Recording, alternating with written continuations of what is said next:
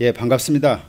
예, 오늘은 국악사랑 예, 김용국님 모시는 자리입니다. 반갑습니다. 김용국님. 예, 반갑습니다. 어, 김용국님 지금 하시는 일 잠깐 소개해 주실 수 있는지요? 예, 대한항공 기내식에서 근무하고 있습니다. 아, 대한항공에 계시는군요. 예, 예. 예. 그 바쁜 시간에 우리 국악을 공부할 수 있는 그런 짬을 낼 수 있었는지요? 좋아하고 취미로 하고 싶었기 때문에 예. 하게 됐습니다. 아 그래요, 그래요. 주로 시간을 내는 짬이 그 일주일 단위 그 다를 듯 싶어요. 토요일 일요일만 쉬고 그런 건 아니잖아요. 그럼 저- 스케줄 근무 때문에 평일날 쉬는 날이 많기 때문에 네. 거기에 맞춰 갖고서 배우고 있습니다. 아 그러세요, 그러세요. 직장 생활하면서 국악을 배우려고 어, 잠깐 잠깐 나와야 하는 거에 이제 눈치도 배이기도 하고 그럴 텐데 예. 직장에서는 우리 김영국님이 대금 공부하는 건 대금 배우는 건 이제 입소문은 나 있겠죠. 네, 나 있습니다. 그래서 조금 눈치는 보고 있지만은 네. 제 노후 보험이기 때문에 그래서 지금도 하고 있습니다.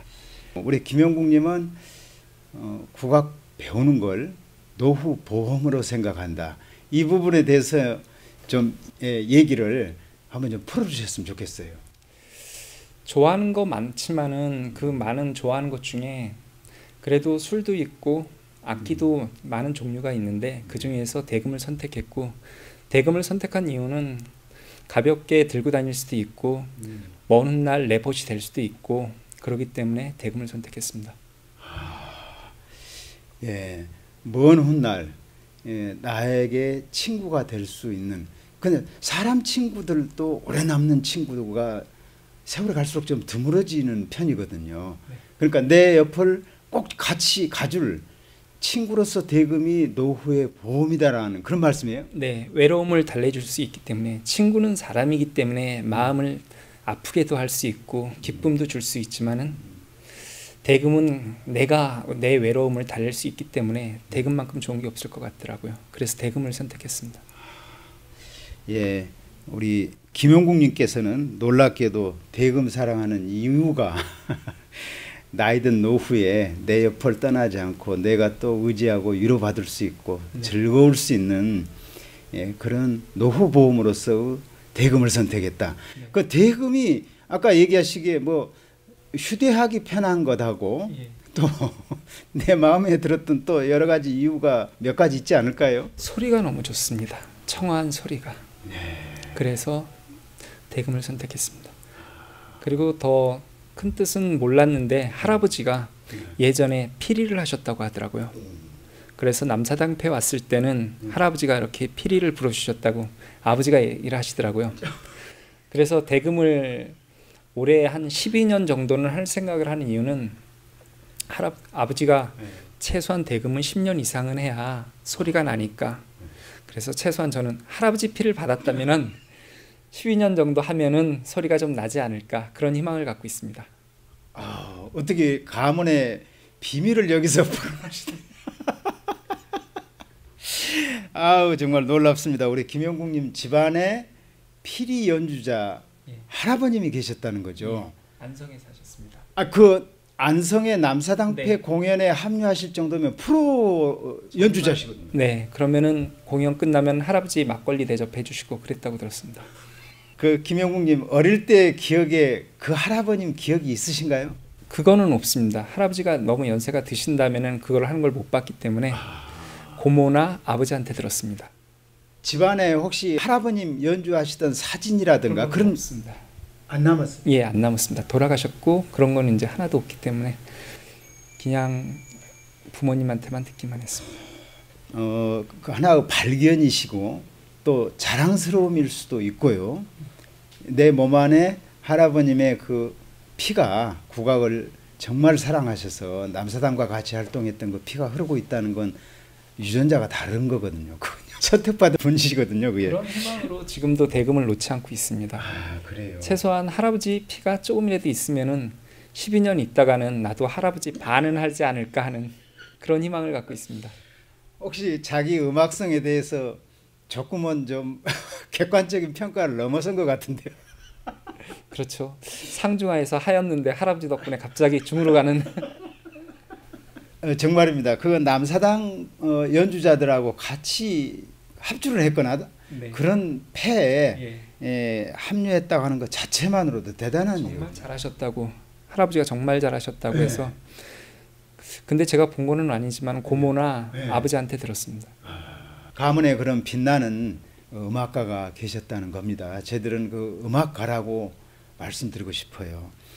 예, 그래서 근데 아버님은 그럼 어떠셨을까요? 아버님은 우리 국악에 대해서나 또 아버님이 봤던 그 할아버님의 모습도 있었을 거고 영향도 있었을 텐데 우리 김영국님 아버님은 음악에 대해서 어떠셨어요? 그거는 잘 그런 거에 대해서는 좀 안- 말씀 안 해주셨고 그냥 지하에서 붓글씨 쓰는 걸로 고상한 모드로 또 바꾸셨군요. 그리고 어느 때 가서 이제 비로소 그 집안에 할아버님이 남사당 연주자였다는 이제 그런 얘기가 나왔던 거군요. 아 그래요, 그래. 그렇다면 우리 김영국님이 갖고 계신 유전자가 좀 다양하네요. 음악가, 그 다음에 이제 서예가, 이제 그리고 김영국님이 정말 또 좋아했던 또 개인이 좋아했던 것들은 또 어떤 취미가 있었던가요? 스포츠 댄스, 사교춤, 그 다음에 술, 시 그렇게 술 먹으면은 시를 좀 많이 읽고요. 네. 처음 보는 분들한테는 그렇게 제 마음을 표현하고 싶어서 어. 그리고 먼 날은 대금이 된다면 대금도 한번 연주해 보고 싶습니다. 아 지금 열거해 주신 게 춤이라고 그러셨습니다. 스포츠 댄스. 예. 노래는 당연히 들어가겠죠. 노래는 정말 못합니다. 노래를 못해서 사교춤과 댄스를 스포츠 댄스를 배웠고요. 예. 그리고 나서 대금을 배웠고 그런 순서로 가고 있습니다. 아 그래요. 노래를 자신이 못한다고 생각합니까? 남들이 못한다고 했습니까? 남들이 정말 못한다고 했습니다. 특히 친구들이 그랬습니다. 노래방 가서 친구들이 예. 특히 남자 친구들이 그 말에 좀 여자 친구들은 그래도 희망을 주는데 남자 친구들은 거의 노래하지 말라고. 이제 대금 연주를 나중에 한번 저희들이 들어보고 싶어요. 노래는 못 하셨던 분이 그래서 춤으로 갔노라. 그리고 또 시로 갔고 네. 예, 그리고 대금으로 네. 이제 마지막 정착점은 대금으로 끝까지 가겠다고 하는 네. 이제 말씀을 해주셨는데 아, 이야기 나온 김에 우리 김영국님 대금 조금 들려주시죠. 네, 알겠습니다. 예, 어떤 곡 해주시겠습니까? 칠갑산 하겠습니다. 칠갑산요. 예. 예, 알겠습니다. 네.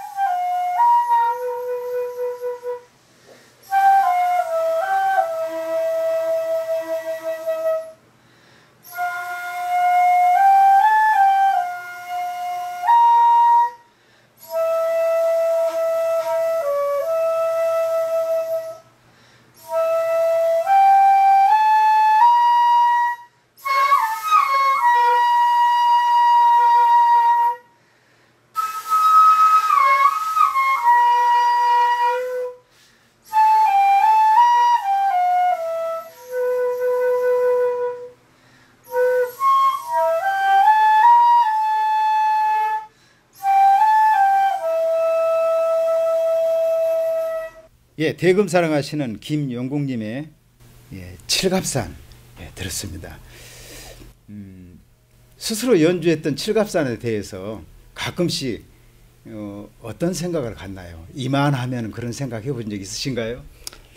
연주하고 나면은 아내한테도 혼나고 딸한테도 혼나고 딸은 아빠 항상 어떻게 이렇게 똑같아 잘하지를 못해 그럴 때가 좀 섭섭합니다. 아이고 그러시군요. 예. 근데 자신이 생각했을 때는 이제 언 대금도 7년 세월을 그래도 어, 손에 잡으신 거 아니에요. 네. 물론 꾸준히 했는가 건너뛰었는가는 두고라도요. 근데 대금을 불고 있는 그 시간에 예, 자신의 그 마음은 좀 어때요? 정말 행복하고 딴 세상에 있는 것 같습니다. 그렇기 때문에 대금을 하는 이유도 있고요. 네. 어떤 사람이 내 곁에 와- 오는지도 모를 정도로 거기에 빠져 있을 수 있는 게 대금인 것 같습니다. 그 정도로 빠져 계세요. 그러니까 할 자, 잘하고 못하고를 떠나서 일단요. 자기 몰입 그런 게 되는 것 같아요. 자기만의 몰입이 되니까 아직까지도 하고 있는 거고 네. 그리고 노후 보험이 되는 거고 그리고 평생 가는 거라고 생각합니다. 아, 멋진 말씀이네요. 우리 김영국님이 국악을 사랑하는 이유 또는 대금을 노후 보험으로 제가 조금 다른 보험 하나 추천드리면 이미 어, 김영국님은 풍류랑으로서 예술 보험에 들었다고 생각 안 드시는지요? 감사합니다. 충분히 풍류랑이시거든요. 이 시를 즐겨 에, 시를 노래하시고 또 대금 사랑하시고 그리고 스포츠 댄스 춤 아까 뭐 다 있으시네요. 그러니까요. 이제 노래 혹시 노래에 대한 도전 의식 그런 생각은 어떠세요? 아직은 없습니다. 대금이 아 직은 대금만 몰입하고 싶습니다. 아, 예, 예, 예. 예. 아주 일편단심이시군요. 노래도 잘할 수도 있으실 텐데 아마 예전에 기억 중에 혹시 학교에서 노래를 부르고 그럴 때 좀 태만한 적 있어요? 그때도 이 도레미파솔라시도가 똑같아서 친구들이 놀렸습니다. 그러니까 이게 눈 맞춤의 문제인 것 같아요. 도레미파솔라시도가 최초에 우리 김용국님한테 정확하게 들어가지 못한 뭔가 이유가 있었을 것 같아요. 그건 잘 모르겠습니다. 알겠습니다. 이제 저희 생각은 우리 대금과 함께 예, 끝까지 가시겠다. 그리고 대금에 몰입하는 그 순간 자체로도 의미가 있다. 마음이 평화롭고 행복하고 정말 하늘을 나는 그런 기분. 집에서 자녀들이 왜 그렇게밖에 못하느냐고. 이해를 못하죠. 그러니까 아빠의 차원을 이해를 못하고 함부로 비평을 하는 거 아닌가요? 그렇죠. 이해합니다. 아 이렇게까지 생활 속에 깊숙이 들어와 있는 대금이 말씀만 들어도 그냥 멋스럽게 느껴지거든요. 혹시 직장 동료 주변 분들에게 대금 추천을 하거나 대금이 이렇게 좋은데 하고 대금 홍보해 본 적 있나요? 그러면은 다른 얘기를 하던데요. 어떤 다른 악기 하라고. 아 그러면 한마디만 더 여쭐게요. 그분들이 추천한 악기가 국악기였습니까? 서양악기였습니까? 서양 악기입니다. 이게 우리 현실이군요. 예, 받아들여야죠. 예. 서양악기 중에서도 무슨 악기를 추천하던가요? 색스폰입니다. 아이고 정말 네 알겠습니다. 그래서 어, 직장분들 그런 그 어떤 분위기나 이런 거하고 전혀 상관없이 네. 예, 김영국님은 내 길로 간다. 그렇죠. 저는 그런 게 좋아요. 내가 한다고 생각하고서 가는 길은 누가 뭐래도 내가 가는 길에 정말로 행복하다고 나는 믿으니까 네네. 그래서 가는 거라고 생각합니다. 옆에서 뵙기에도요. 어, 굉장히 여유롭고 그 다음에 어, 연세에 비해서 제가 아까 실수를 했었는데 처음 만나서 인사드릴 때 한 7년 정도 오차가 났거든요. 좋게 봐줘서 감사합니다. 그래서 우리 그 김영국님이 국악 사랑하시고 또 대금으로 노후 보험까지 들었노라고 말하실 정도 훨씬 젊어 보이거든요. 혹시 그 덕 아닌가 싶어요. 국악을 좋아하는 덕 아닌가. 감사합니다. 아이고 앞으로 이제 에, 좀 어때요? 이제 자기만 몰입해서 즐거워하는 단계하고 주변과 같이 어울려서 할 수 있는 단계 그리고 또 이제 산조로 가고 또 다른 곡으로 계속 도전해 보는 그런 단계에 대해서는 앞으로 어떻게 생각하고 계세요? 그거는 좋게 생각하고 있고요. 그게 이제 정년퇴직하고 난 다음에는 좀 보여주고 싶은 그런 게 있습니다. 사람들과 같이 어울려서 맛있는 음식을 만들어서 먹으면서 연주도 해주고 대금은 이런 거라고 보여주고 싶은 그런 꿈도 조금은 갖고 있습니다. 예, 그날을 위해서 꾸준히 연주곡들을 지금 적금 들고 계시는 거죠. 네, 어느 자리에서나 내가 적금 깬다 하면은 빵 터지는 날 아니에요. 그렇죠. 아 옆에서 뵙기도 참 외롭고 즐겁습니다. 예, 김영국님 그래서요. 지금 현재 공부하고 있는 곳이 지금 꾸준히 공부하고 있는 곳이 어디이신가요? 국사모입니다. 네. 그러니까 처음에 국사모에서 시작해서 지금도까지도 국사모인가요? 네, 그렇습니다. 아, 역시 일편단심이 군요. 이 일편단심이 결국은 마침내는 이룰이라고 봅니다. 예, 대금으로 노후 보험을 들었다고 하신 우리 김영국님 어, 두고두고 오래오래 대금과 친구하시면서 멋지게 행복하게 사시길 바라겠습니다. 감사합니다. 감사합니다. 못못하지만 술과 차를 빼고 이야기할 수 없제. 세상 사람들아 헛되이 날 보낸다 나무라지 마라.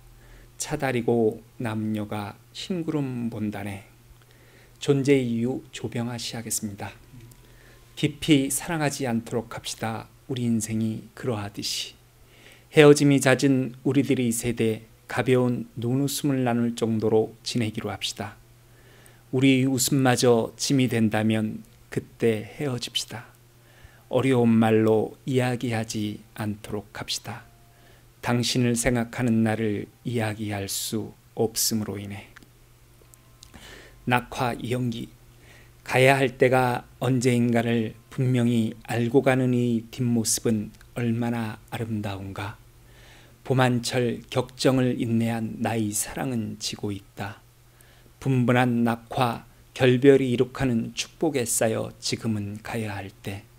무성한 녹음과 머지, 머지않아 열매 맺는 가을을 향하여 나의 청춘은 꽃답게 죽는다. 이렇게 하겠습니다. 오 멋있어요.